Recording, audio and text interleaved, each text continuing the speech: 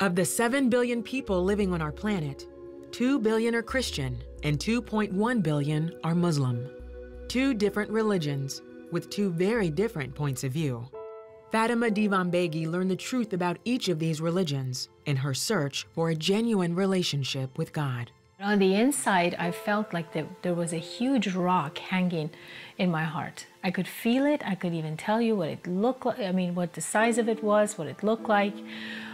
It, was real and it was painful. It was like something that would draw me down and wouldn't let me, you know, live. There was no hope in it. Uh, there was no hope for the future. Fatima was raised in Iran as a Muslim. Being a Muslim is not by choice it's by heredity. So if your parents were Muslims and you're born in that family, you're automatically a Muslim. But Fatima resisted her parents' Muslim faith. At a very young age, I started questioning existence, questioning whether whether there was a God or not. I would be like spending hours and hours and hours thinking about what would God look like? What would he, you know, where would he be? But traditionally in Islamic culture, you don't ask these questions. They're tabooed. You don't, if you start asking questions like these, they will call you faithless. Growing up, the God of the Quran was the only God that Fatima ever knew. He's not a personal God.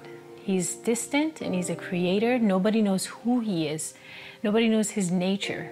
Uh, nobody knows his plans. Um, you just know that he cares about morality and um, you know in order to go to heaven you must do good works so it's through your good works as a teenager, Fatima looked for answers in fortune telling and by reading coffee grounds. I did that for a few years. Like I said, I was still searching for God. Uh, that practice did not um, lead me to, to know God. But still, I searched. I had no choice. Something in me would not rest. And uh, finally, I came to a conclusion. I said, God, you're either so complicated that I could never know you, or you're just right in front of my eyes and I can't see you. And so I remember like every day I would cry and cry and ask God to show me himself. Look at the sun. Are you the sun? Is that, you know, is that how you reveal yourself? You know, where am I supposed to look? Her cry was answered when Fatima says that Jesus appeared to her in a dream.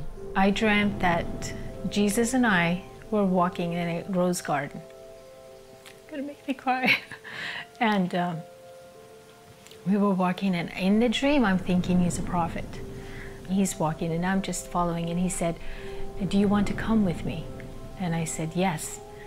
And I said, uh, and he said, Then follow me.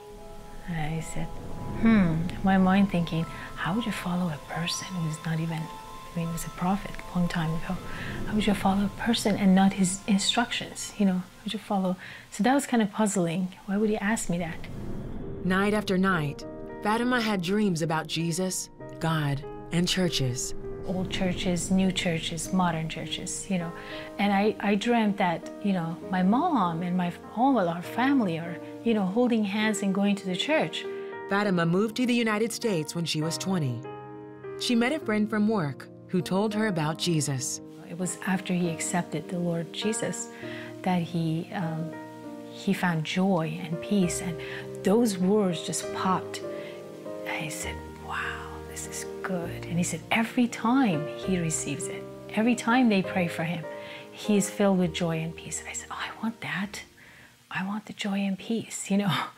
So Fatima went to a Christian church, and a woman there asked her, Do you believe Jesus Christ is God? And I said, Did he say that? Did he say that, that he was God? And she said, uh, Yes, he says that. I said, Sure, I believe he's good. Trust me, I'll find out if he's not. think of, you know, I'll just find out, you know, things aren't true. But I'm willing to give Jesus a try, like definitely. And he said, she said, do you want to pray, salvation prayer? Absolutely. So it was very, because of my, I think God had softened me up to the point that, you know, um, I was soft toward, toward God and I wasn't, you know, resistant. That night, after years of searching, Fatima prayed to become a Christian. Things just uh, started changing. That heavy, heavy heart, that, that stone that I could, you know, it was sharp even. I could feel how sharp and painful it was. That was gone. It was completely gone. That night, the Lord just, it just like He took His hand in my heart and, and took that rock out permanently. The one significant thing that God did for me, that Christ did, was that He put hope in my heart, a permanent hope. And as I got to know the Lord more, you know, of course, the Lord gave me many more dreams just to show that the scriptures were true and everything I was reading, God was backing them up.